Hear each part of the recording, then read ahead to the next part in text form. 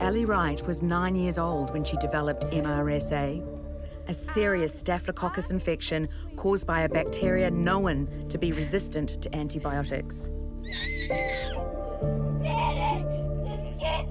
We thought that it was just an infection in the left hip. And then once the lab results came back, they noticed it was the superbug, MRSA. There's already been a change with some common infections that can't be treated with oral antibiotics, and the ultimate risk is that the person will either suffer damage from the infection or die from the infection. A mumps outbreak virus, a global Over 100,000 baby deaths worldwide. putting worldwide. themselves at risk if they There don't. have been 300 cases of Resistance now a global threat.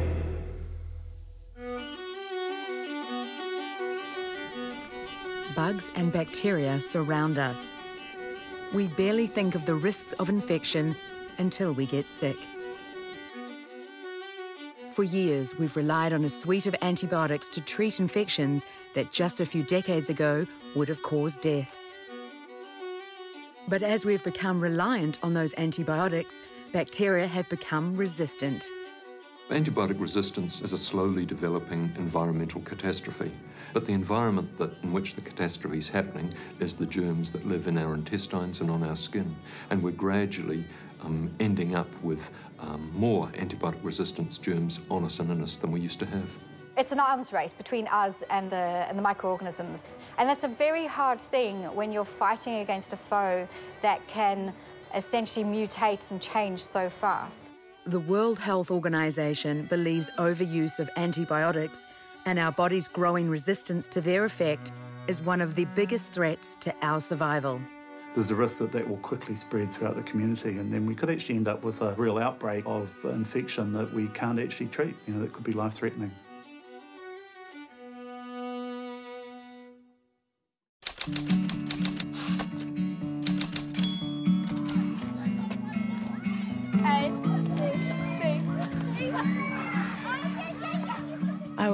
An active kid. I did karate, I did netball. I loved running. Just being able to be free is just the best. Ellie was your typical Kiwi girl who was just full of bounce and energy. She was very good at long distance running, and she was good at karate, and then anything to do with dance, so hip hop, you name it, um, she would do it.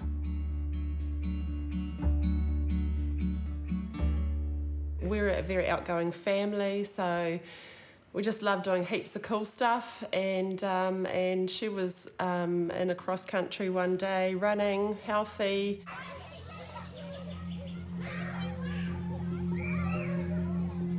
there was like these two pits you had to jump over. First pit I jumped over, I got a cut on my big left toe, and then the second one, um, I got ground shock, but like way worse. As soon as I stopped and started walking, I was just in agony. We thought you strained a muscle, you've done something like that, it's something benign, it's not going to be a, a real big deal, it'll naturally heal. And so we weren't really that concerned, other than we felt sorry for her pain. In the morning, she was far too much pain to put any weight Weight. on that leg, so she couldn't walk. So I, I just took her into the um, A&E, and um, when I got in, uh, they straight away saw her and just started working on her, and I was just, I was in, going into shock. We just thought we're there at the right place. We're gonna, it's all going to be good, and she's going to get better, and we'll go home. Bacteria had travelled inside her body and rapidly taken hold. It was attacking and eating away at her bones and cartilage. The infection was in her knee and hip, and by the time she reached hospital, it had spread to her elbow. And then once the lab results came back the next day, they noticed it was the superbug, MRSA.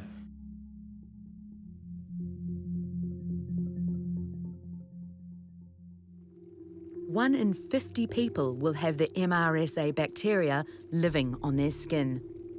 It's only when it gets inside the body that it's deadly. MRSA stands for methicillin resistant Staphylococcus aureus. Staph aureus is uh, one of the most aggressive bacterial pathogens when it's in places where it shouldn't be other than the nose. It causes clotting in the tissues, it causes inflammation with redness and tenderness. It can damage the tissues enough to be at risk of dying from the infection. Bacteria are everywhere. We inhale thousands of minute particles with every breath. Our hands are covered with more than 150 different species. Each of us have our own unique colony of bacteria. The difference between good bacteria and bad bacteria isn't actually that clear cut. We have others that live on us quite happily. We have them living in our nose and our throat, uh, and they don't, under normal circumstances, do much damage. But if they get in the wrong place, then they can also become damaging. And then, of course, we have ones that we call kind of professional pathogens, and these are ones that once they get into our body, and they can produce toxins, they can do all sorts of things to make us sick. So powerful was the bacteria's hold. Instead of getting better, Ellie was getting worse. She had a big collection of pus in her hip from the infection, and they had to get it out as fast as they can. So good to get that off. It is so important that, to clean, okay? Yeah, And I I'm know never she's You're doing so well. So we were thinking it's going to all be good, and then they'll come in and they'll say, "Sorry, Ellie's not good. We need to go back and operate again." And it just carried on and on, and she would just be screaming all the time. There was just so many things happening. Couldn't break free. I couldn't go. And then just being in so much pain and looking over and seeing my mum crying and my dad crying and just wanting to just go. Um, sometimes I wanted to die because it was so hard.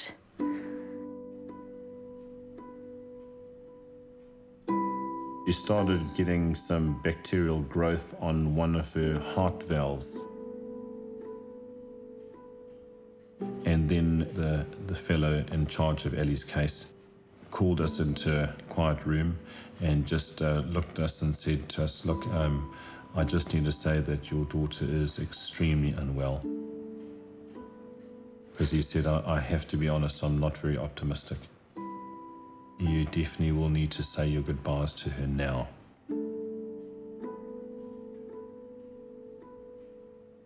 We were inconsolable, and I remember exactly where it was that we just broke down and we couldn't move or anything.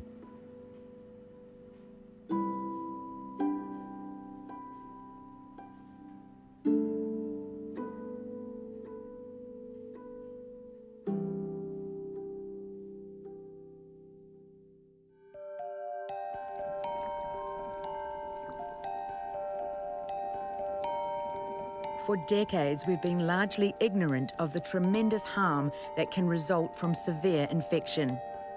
A century ago, people regularly died. With the advent of antibiotics came complacency. We came to believe a prescription from our doctor would solve infection. But experts say it is our overuse of the modern range of drugs that has allowed bacteria to develop resistance, effectively outsmarting us. We have used so much antibiotics since the end of World War II. There have been more and more bacteria become more and more resistant to the antibiotics we have, and we've not had new antibiotics become available in the last approximately 20 years.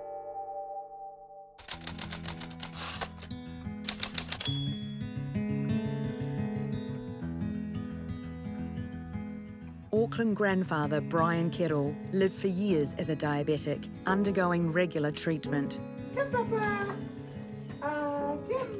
Infection is one of the life threatening consequences of diabetes.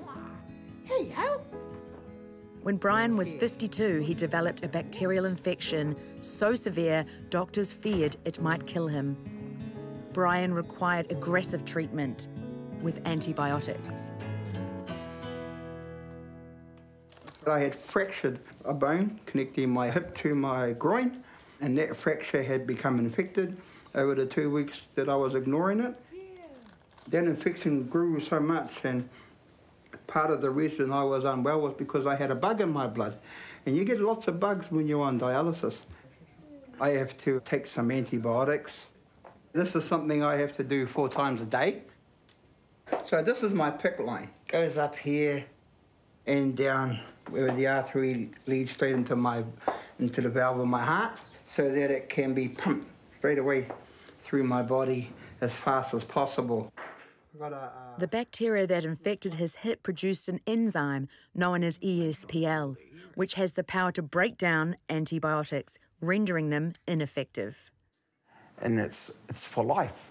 It's a bug you can't get rid of. They found no cure for it. And it's in your bowel. And it's a bug that you catch from sharing the bathroom. One that is most worrying doctors and hospitals like ours are a group of organisms called the carbapenemase producing Enterobacteriaceae, which is a big uh, kind of name for a family of bacteria. Uh, it includes E. coli and another organism called Klebsiella pneumoniae. And these are organisms that can be carried by healthy people, so we can carry them in our noses, uh, in our guts, on our skin. Um, but if you're in hospital uh, or if you're a vulnerable um, person, you might have some other disease, then these can cause huge problems. Staph aureus is a germ that lives on the, in the nose and on the skin and most commonly infects the skin. And people who have uh, frequent injuries to the skin, say shaving, um, or other abrasions to the skin, or people who have skin diseases like eczema uh, or other diseases that make small cracks or injuries in the skin are more likely to end up with Staph aureus infection, whether it's caused by methicillin sensitive or methicillin resistant Staph aureus.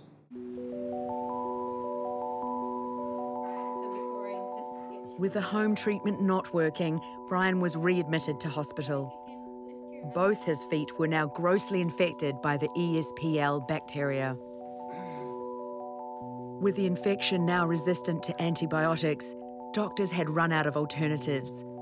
The only way to stop infection spreading was to amputate. So they had to debride all the infected material that was there. At the same time they did that, they removed the fifth digit on my left foot because they had become infected as well. And they wanted to catch the infection before it spread all the way up this leg so it wouldn't be end up like this foot. Diabetics are more susceptible to developing infections. High blood sugar levels can weaken the patient's immune system. Some diabetics, like Brian, have reduced blood flow to the extremities. So, what the doctors have said to me basically is if they can't bring any of this infection in control, they have no option but to take my leg off.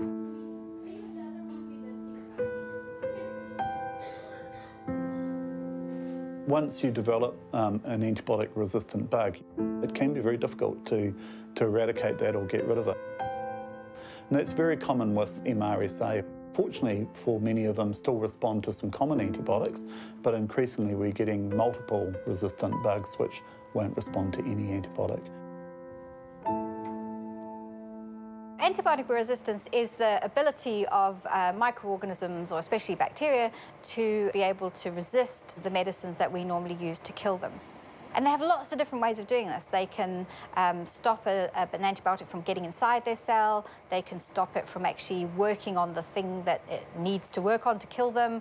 Um, they can chop it up. They can do all sorts of things. Now we have these strains that are essentially resistant to everything. So the first case happened earlier this year. A lady in the USA died from a completely untreatable organism. The doctors tried something like 26 antibiotics and nothing worked.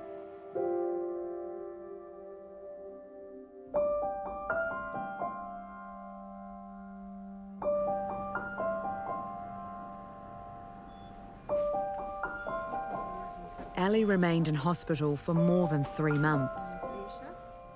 Every day raised new medical concerns.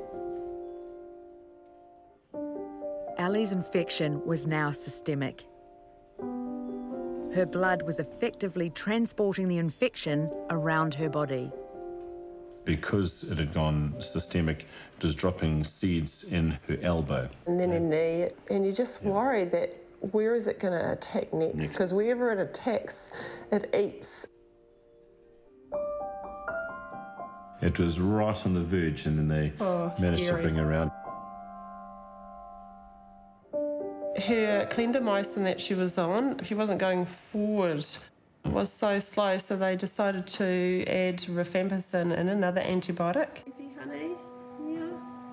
Sleepy, isn't it a nice feeling? They Yeah. suggested it's like introducing a cannon in warfare. And the rifampicin has some interesting side effects because it makes your tears go red. And then she had these incredible bad itches that would just could make you scream and go crazy. It was like all these bugs underneath your skin.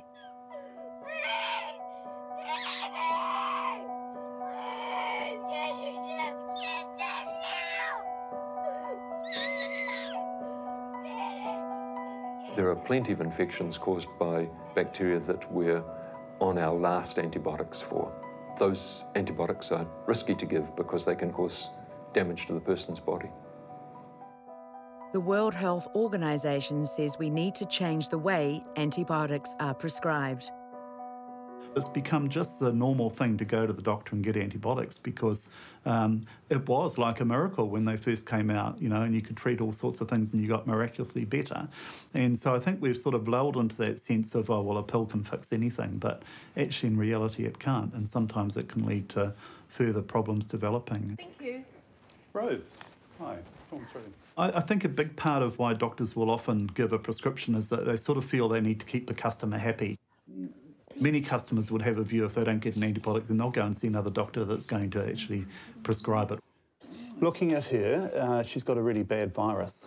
So viruses don't actually respond to antibiotics. They're a type of bug that causes infection, but antibiotics won't make any difference. Um, and so the key thing really is to keep her hydrated and um, make sure that she's feeling comfortable. A recent study of a very large number of children, about five or 6,000 children um, in the north of the North Island, found that on average by the age of five, the number of antibiotic courses that a child had had was about 10, and only about 3% of children had not had an antibiotic course by the time they reached five.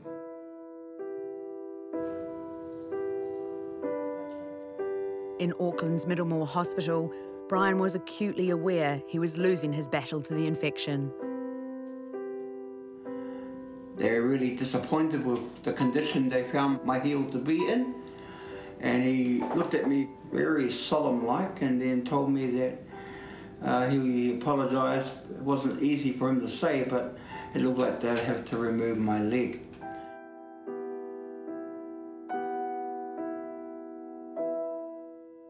A world where antibiotics are much less effective than they are now might look like a world where it's difficult or if not impossible to do uh, complicated surgery because complicated surgery often leads to severe infections. We might lose the ability to treat people for leukemia or other cancers because our treatment tends to make people more susceptible to infections. And then we'd have people with untreatable infections arising in the community, like gonorrhea, uh, pneumonia, and urinary tract infections. And we're seeing more and more patients with infections that are difficult or are very occasionally impossible to treat. This is Ellie on her birthday. Meanwhile, the little girl who had spent months in Starship Children's Hospital was finally well enough to come home. Her young body had fought against the invading bacteria, and despite terrible odds, she had survived. But her recovery is far from complete. She was still NG fed. She's still on antibiotics. She was on about 28 tablets a day, uh, twice a day. One was 12 hourly, one was 6 hourly. She still couldn't walk. She couldn't barely stand. She was so skinny. She'd been laying on her back for four and a half months, and all of her muscles had gone out of her body, especially her legs. She still had a cast on, so she couldn't go and have a shower. So it was 24 hour care around the clock. But we made sure that Ellie never felt like she couldn't do anything.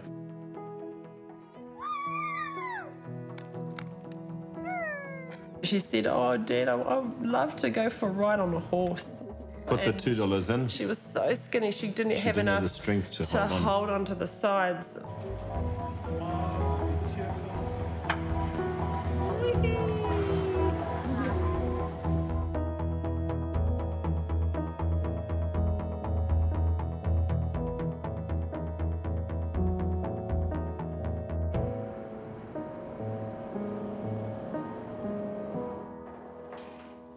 Brian's advanced diabetes, coupled with the infection, meant that within months he was in hospital again.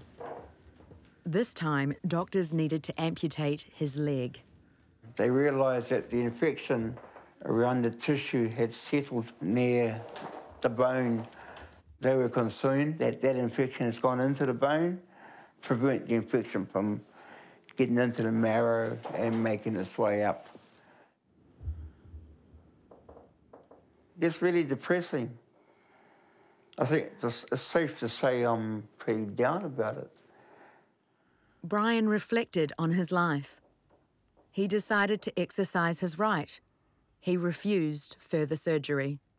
I wasn't going to be cured of um, this infection. This infection was going to continue, and I stand more of a chance of fighting the, the, um, the contamination off if I stay on these antibiotics for the rest of my life. Um, so um, I believe that losing this part of my body and them taking the rest of my limb um, isn't going to improve or lengthen the amount of time dramatically.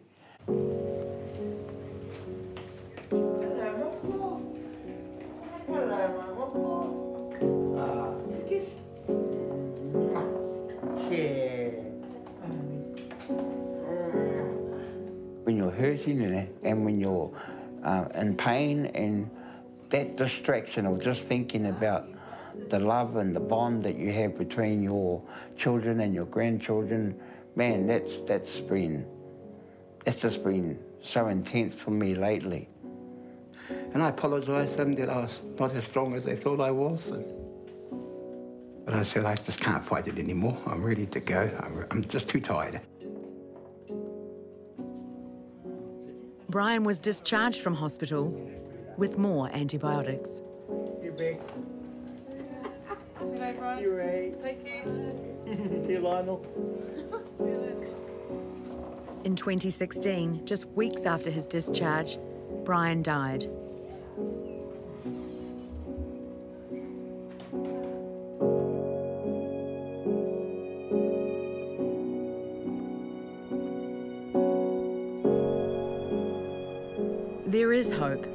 Scientists in New Zealand and across the world are taking on the challenge to find new antibiotics.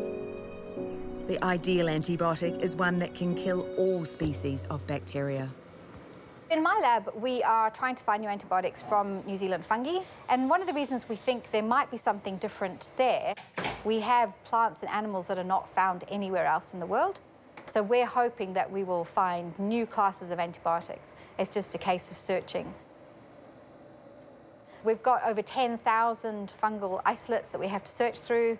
We've gone through about 500. Haven't found anything new yet, but it's early days.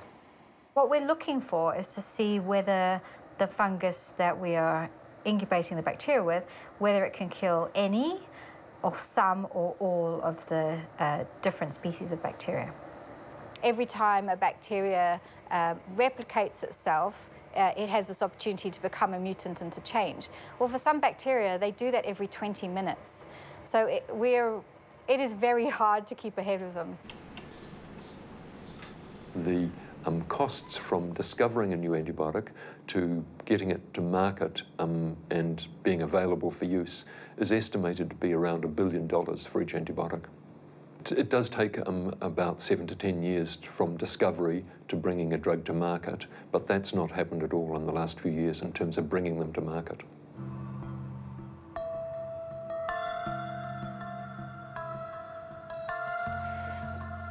It's more than three years since Ellie's medical trauma. She's progressed, but bears physical and emotional scars likely to last her lifetime. Ellie is now in a hip spica because of all the operations in her left hip. Can you help me with my shoes? There was 'Cause there such was- incredible damage Yeah. done to the joint from the infection. So Mhm. instead of a nice round ball that fits into the joint, it is now flat and it's pitted. And all the cartilage has been completely. It's almost like they said if you took a shotgun and you blasted uh, the inside of that with a shotgun, that's the all the holes that were affected by the bacteria.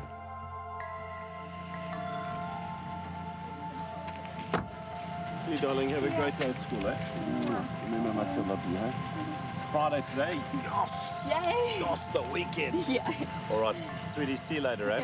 Bye-bye, darling. I do physio at school and I don't take any medication though. Yeah, I get tired. That's why I have an amazing teacher that always helps me if I say, Oh, I'm sorry, but I'm really tired or I'm sore. Can I please do this? And she'll always let me off. So I can't really um, sit in a normal chair because of my hip, because it's um, fused in uh, this position really. Well, I do get pain in my hip and it's horrible, but sometimes I can manage it. I just shake it off, have to do a little walk, but if I can't, I would, mum will probably pick me up. I'm not gonna do my three rounds, eh? No, we're not going to do three. No. I really want to do PE so badly, but I can't play netball, I can't do karate, I can't ride a bike, and I and I used to be able to dance, but now I can't really. Sometimes I get a bit emotional if I see if like the class running. Some days I would just be like, oh, why me? Like, why, why? Daryl, catch. One, two. So the belief is that um, Ellie is likely to have MRSA until she's 60. So the MRSA will exist in her bone marrow. It will, at this stage, remain dormant, but any trauma, significant trauma, can cause it to reactivate.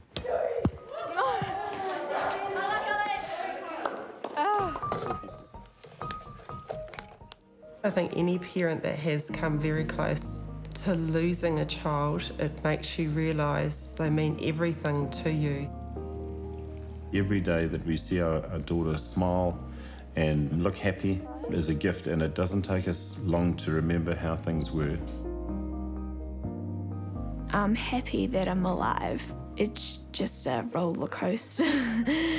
and you can be sad at one point and then you can be so happy at another. But yeah, you're still normal Ellie.